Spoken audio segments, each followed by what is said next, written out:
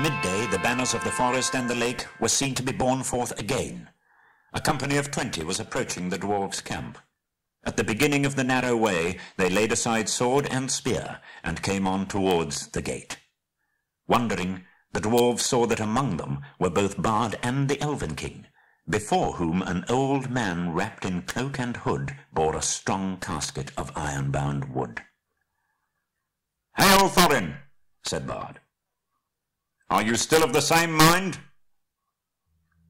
My mind has not changed with the rising and setting of a few suns. Did you come to ask me idle questions? The elf host has not departed. Till then you come in vain to bargain with me. Is there nothing for which you would yield any of your gold? Nothing that you or your friends have to offer. What of the Arkenstone of Thrain? At the same moment, the old man opened the casket and held aloft the jewel. The light leapt from his hand, bright and white in the morning. Then Thorin was stricken dumb with amazement and confusion.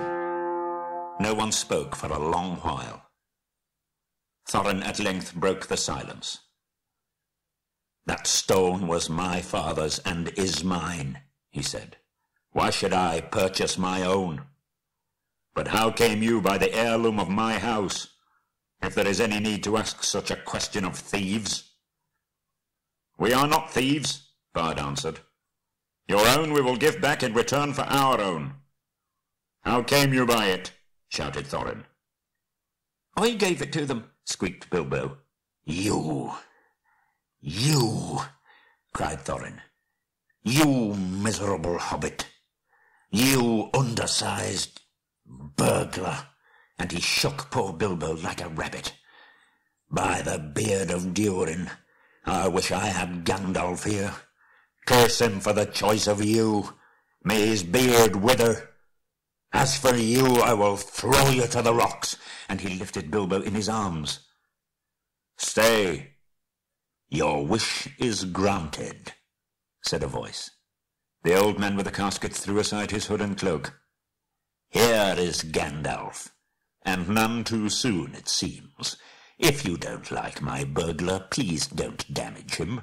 Put him down, and listen first to what he has to say. Never again will I have dealings with any wizard or his friends. What have you to say, you descendant of rats? Dear me, dear me, said Bilbo. You may remember saying that I might choose my fourteenth share. The time was, all the same, when you seemed to think that I had been of some service.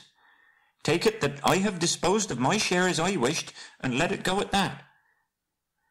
I will, said Thorin grimly. And I will let you go at that, and may we never meet again. I am betrayed. It was rightly guessed that I could not forbear to redeem the Arkenstone, the treasure of my house. For it I will give one fourteenth share of the hoard in silver and gold, setting aside the gems but that shall be accounted the promised share of this traitor. Get down now to your friends, he said to Bilbo, or I will throw you down. What about the gold and silver? asked Bilbo. That shall follow after, as can be arranged, said Thorin. Get down. Until then we keep the stone, cried Bard. You are not making a very splendid figure as king under the mountain, said Gandalf. But things may change yet. And so Bilbo was swung down from the wall and departed with nothing for all his trouble except the armour which Thorin had given him already. More than one of the dwarves in their hearts felt shame and pity at his going. Farewell, he cried to them. May we meet again as friends. Be off, if you do not hasten, I will sting your miserable feet. So be swift. Not so hasty, said Bard. We will give you until tomorrow. At noon we will return, and see if you have brought from the hoard the portion that is to be set against the stone. If that is done without deceit, then we will depart, and the elf host will go back to the forest. In the meantime, farewell. The next day the wind shifted west, and the air was dark and gloomy. The morning was still early when a cry was heard in the camp. Runners came in to report that Dain had come. He had hurried on through the night, and so had come upon them sooner than they had expected. Each of his folk was clad in a hauberk of steel mail that hung to his knees, and his legs were covered with hose of a fine and flexible metal mesh. The dwarfs were exceedingly strong for their height, but most of these were strong even for dwarfs. In battle, they wielded heavy two-handed mattocks, and their faces were grim. Trumpets called men and elves to arms. Before long the dwarfs could be seen coming up the valley at a great pace. Bard went out to meet them, and with him went Bilbo. We are sent from Dain, son of Nain, they said when questioned. We are hastening to our kinsmen in the mountain. But who are you that sit in the plain as foes before defended walls? Bard refused to allow the dwarfs to go straight on to the mountain. He was determined to wait until the gold and silver had been brought out in exchange for the Arkenstone, for he did not believe that this would be done if once the fortress was manned with so large and warlike a company. They could stand a siege for weeks, and by that time yet more dwarfs might come, and yet more, for Thorin had many relatives. These were, in fact, precisely their plans, but for the moment the way was barred. Bard then sent messengers at once to the gate, but they found no gold or payment. Arrows came forth, and they hastened back in dismay. In the camp all was now astir, as if for battle, for the dwarves of Dain were advancing. Fools, laughed Bard, to come thus beneath the mountain's arm. They do not understand war above ground, whatever they may know of battle in the mines. There are many of our archers and spearmen now hidden in the rocks upon their right flank, let us set on them now from both sides before they are fully rested. But the Elven king said, Long will I tarry, ere I begin this war for gold. Let us hope still for something that will bring reconciliation. But he reckoned without the dwarves. The knowledge that the Arkenstone was in the hands of the besiegers burned in their thoughts. Suddenly, without a signal, they sprang forward to attack. Bows twanged and arrows whistled. Battle was about to be joined. Still more suddenly, a darkness came on with dreadful swiftness. Winter thunder and a wild wind rolled roaring up and rumbled in the mountain. And beneath the thunder, another blackness could be seen whirling forward. But it did not come with the wind. It came from the north, like a vast cloud of birds, so dense that no light could be seen between their wings. Then, in a voice like the thunder itself, his staff blazing forth with a flash like the lightning, Gandalf cried out, Halt! Dread has come upon you all. The goblins are upon you, O Dain. Bolg of the North, whose father you slew in Moria, is coming. The bats above his army are like a sea of locusts. They ride upon wolves, and wargs are in their train. Come, there is time yet for counsel. Let Dain, son of Nain, come swiftly to us. So began the battle of the five armies, and it was very terrible. Upon one side were the goblins and the wild wolves, and upon the other were elves and men and dwarves. Ever since the fall of the great goblin of the Misty Mountains, the hatred of their race for the dwarves had been rekindled to fury. Not even the ravens knew of their coming until they came out of the broken lands which divided the lonely mountain from the hills behind. How much Gandalf knew cannot be said but it is plain that he had not expected this sudden assault. This is the plan he made in council with the Elven King, and with Bard, and with Dain, for the goblins were the foes of all, and at their coming all other quarrels were forgotten. Their only hope was to lure the goblins into the valley between the arms of the mountain, and themselves to man the great spurs that struck south and east, Yet this would be perilous if the goblins were in sufficient numbers to overrun the mountain itself, and so attack them from behind and above. But there was no time to make any other plan, or to summon any help. To the mountain, called Bard, to the mountain! Let us take our places while there is yet time. Ere long the vanguard swirled round the spur's end and came rushing into Dale. These were the swiftest wolf riders, and already their cries and howls rent the air afar. As Gandalf had hoped, the goblin army had gathered behind the resisted vanguard, and poured now in rage into the valley, driving wildly up between the arms of the mountain, seeking for the foe. It was a terrible battle. the most dreadful of all Bilbo's experiences, and the one which at the time he hated most, although he was quite unimportant in it. Actually, I may say he put on his ring early in the business and vanished from sight, if not from all danger. The elves were the first to charge.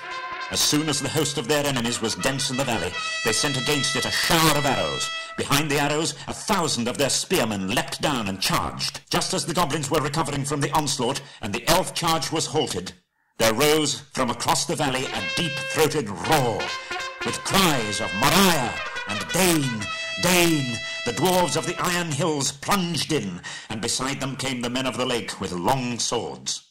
Panic came upon the goblins, and even as they turned to meet this new attack, the elves charged again with renewed numbers. Victory seemed at hand, when a cry rang out on the heights above. Goblins had scaled the mountain from the other side, and already many were on the slopes above the gate, and others were streaming down recklessly to attack the spurs from above, and the defenders had too few to bar the way for long. Victory now vanished from hope. They had only stemmed the first onslaught of the black tide. Day drew on. The goblins gathered again in the valley. There a host of wargs came ravening, and with them came the bodyguard of Bolg, goblins of huge size with scimitars of steel. Now Bard was fighting to defend the eastern spur, and yet giving slowly back. And the elf lords were at bay about their king upon the southern arm, near to the watchpost on Raven Hill. Suddenly there was a great shout, and from the gate came a trumpet call. They had forgotten Thorin. Out leapt the king under the mountain, and his companions followed him. They were in shining armor, and red light leapt from their eyes. Rocks were hurled down from on high by the goblins above, but they held on, leapt down to the fall's foot, and rushed forward to battle. Wolf and rider fell or fled before them. Thorin wielded his axe with mighty strokes, and nothing seemed to harm him. To me, to me, elves and men, to me, O my kinsfolk, he cried. Down, heedless of order, rushed all the dwarves of Dain to his help. Down, too, came many of the lake men, for Bard could not restrain them. The wargs were scattered, and Thorin drove right against the bodyguard of Bolg. But he could not pierce their ranks. His numbers were too few. Soon the attackers were attacked, facing every way, hemmed all about with goblins and wolves returning to the assault. The bodyguard of Bolg came howling against them, and drove in upon their ranks like waves upon cliffs of sand. The assault from the mountain was renewed with redoubled force, and upon either side men and elves were being slowly beaten down. On all this Bilbo looked with misery. It will not be long now before the goblins win the gate, and we are all slaughtered or driven down and captured. I would rather old Smaug had been left with all the wretched treasure than that these vile creatures should get it and all of us come to a bad end. Misery me! I wish I was well out of it. The clouds were torn by the wind, and a red sunset slashed the west. Seeing the sudden gleam in the gloom, Bilbo looked round. He gave a great cry. He had seen a sight that made his heart leap. Dark shapes, small yet majestic against the distant glow. The eagles! The eagles! he shouted. The eagles are coming! The eagles! The eagles! Bilbo cried, dancing and waving his arms.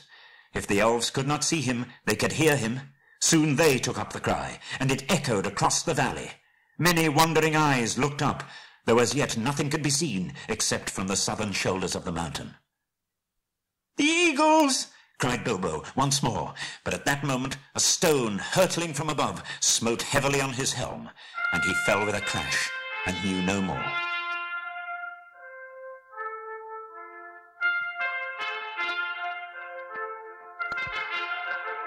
When Bilbo came to, he was lying on the flat stones of Raven Hill, and no one was near. He was shaking and as chilled as stone, but his head burned with fire. I wonder what has happened. He sat up painfully. Looking into the valley, he could see no living goblins. Dwarves seemed to be busy removing the wall, but all was deadly still. Sorrow seemed to be in the air. Victory after all, I suppose, he said, feeling his aching head. Well, it seems a very gloomy business. Suddenly he was aware of a man climbing up and coming towards him. Hello there, he called with a shaky voice. What news? What voice is it that speaks among the stones? said the man. Then Bilbo remembered the ring. Well, I'm blessed, said he. This invisibility has its drawbacks after all. It's me, Bilbo Baggins, companion of Thorin, he cried, hurriedly taking off the ring. It is well that I have found you, said the man. You would have been numbered among the dead, who are many, if Gandalf had not said that your voice was last heard in this place. Are you much hurt? Oh, a nasty knock on the head, I think, said Bilbo. I feel sick and my legs are like straws. I will carry you down to the camp in the valley. The man was swift and sure-footed. It was not long before Bilbo was set down before a tent in Dale, and there stood Gandalf, with his arm in a sling. Baggins, he exclaimed. Well, I never. Alive after all. I am glad. A terrible business, and it nearly was disastrous. But other news can wait. Come, he said more gravely. You are called for. And leading the hobbit, took him within the tent.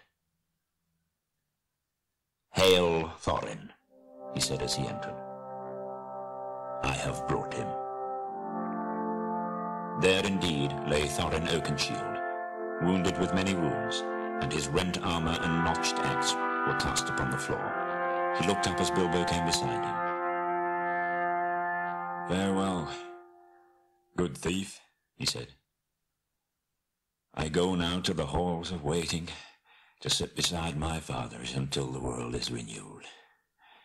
Since I leave now all gold and silver, and go where it is of little worth, I wish to part in friendship from you, and I would take back my words and deeds at the gate. Bilbo knelt on one knee, filled with sorrow. Farewell, King under the mountain. This is a bitter adventure, if it must end so, and not a mountain of gold can amend it. Yet I am glad that I have shared in your perils. That has been more than any Baggins deserves. No, said Thorin.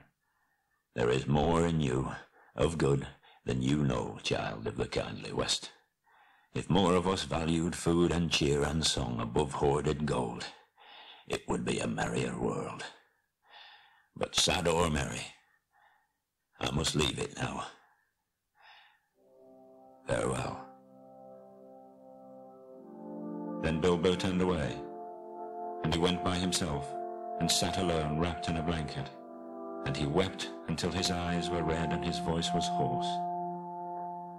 A mercy it is, he said at last to himself, that I woke up when I did.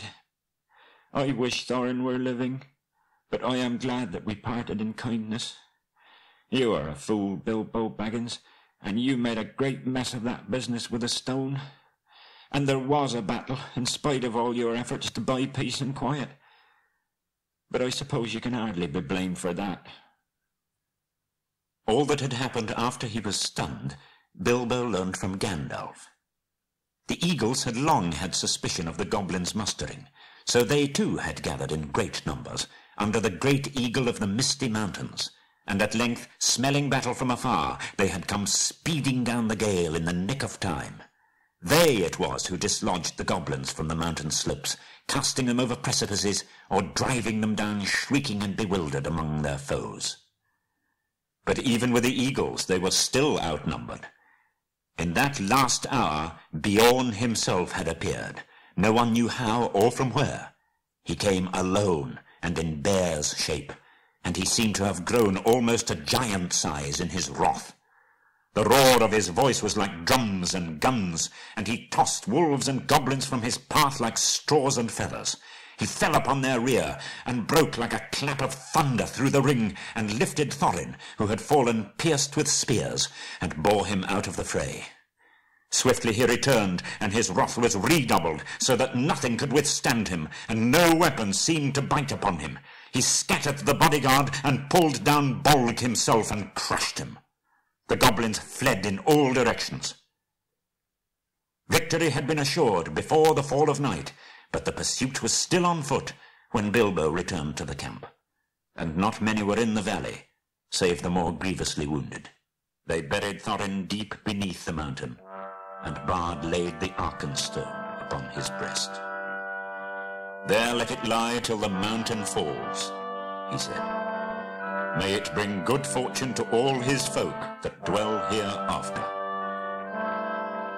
Upon his tomb, the Elven King then laid Orcrist, the elvish sword that had been taken from Thorin in captivity. It is said in songs that it gleamed ever in the dark if foes approached, and the fortress of the dwarves could not be taken by surprise. A fourteenth share of all the silver and gold, wrought and unwrought, was given up to Bard, for Dain said, We will honour the agreement of the dead, and he has now the Arkenstone in his keeping. Even a fourteenth share was wealth exceedingly great, greater than that of many mortal kings. From that treasure Bard sent much gold to the master of Lake Town, and he rewarded his followers and friends freely. To the Elven king he gave the emeralds of Girion, such jewels as he loved most, which Dain had restored to him. To Bilbo he said, This treasure is as much yours as it is mine. I should wish that the words of Thorin, of which he repented, should not prove true, that we should give you little. I would reward you most richly of all. Uh, very kind of you, said Bilbo, but how on earth should I get all that treasure home without war and murder all along the way? In the end, he would take only two small chests, one filled with silver and the other with gold, such as one strong pony could carry. That will be quite as much as I can manage, said he. He went at last to say good-bye to his friends. Farewell, Balin, he said, and farewell, Dwalin, and farewell, Dori, Nori, Ori, Oin, Gloin, Bifur, Bofur, and Bombur. May your beards never grow thin. And turning towards the mountain, he added, Farewell, Thorin Oakenshield, and Fili, and Kili, May your memory never fade. The dwarfs bowed low before their gate, but words stuck in their throats. Goodbye and uh, good luck, wherever you fare, said Balin at last. If ever you visit us again, when our halls are made fair once more, then the feast shall indeed be splendid. If ever you are passing my way, said Bilbo, don't wait to knock. Tea is at four, but any of you are welcome at any time. Then he turned away.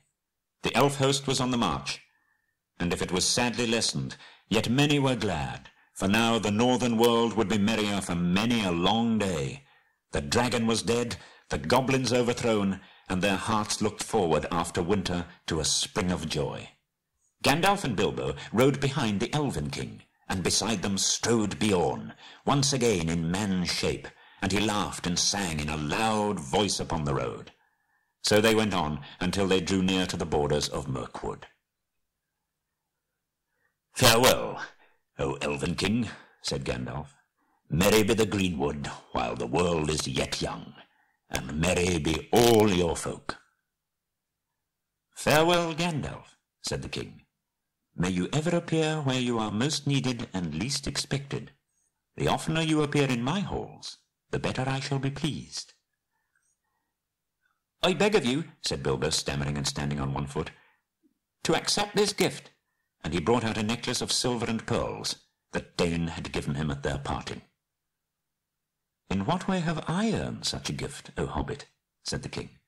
Well, er, I thought, uh, didn't you know, said Bilbo, rather confused, that uh, some little return should be made for your uh, hospitality. I mean, even a burglar has his feelings. I have drunk much of your wine and eaten much of your bread. I will take your gift, O Bilbo the Magnificent, said the king gravely, and I name you elf friend and blessed.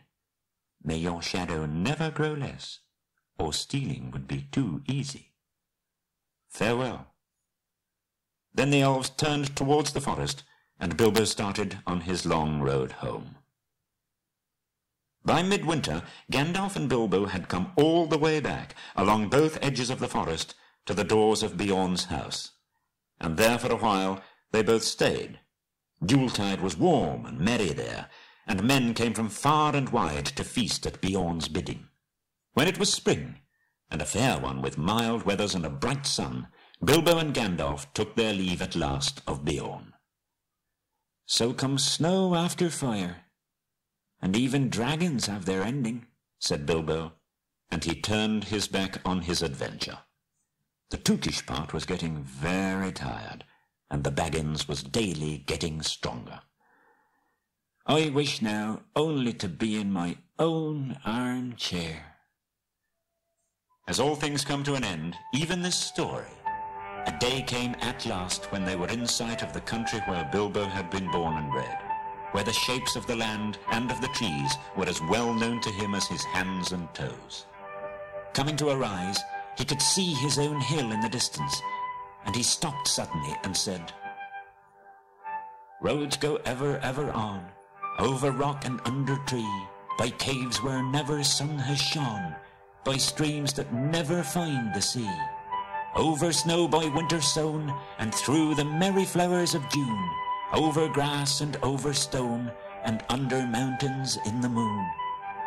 Roads go ever, ever on, under cloud and under star, yet feet that wandering have gone turn at last to home afar. Eyes that fire and sword have seen, and horror in the halls of stone, look at last on meadows green, and trees and hills they long have known. Gandalf looked at him. My dear Bilbo, he said, something is the matter with you. You are not the hobbit that you were. They crossed the bridge and passed the mill by the river and came right back to Bilbo's own door.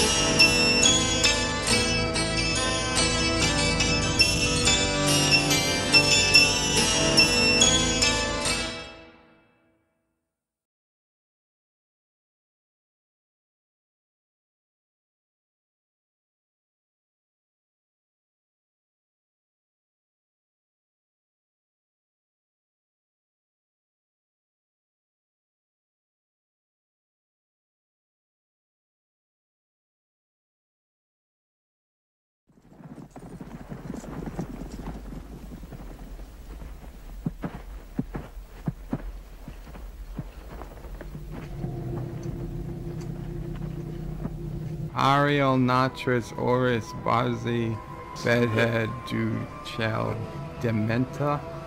Yeah, I'm not so.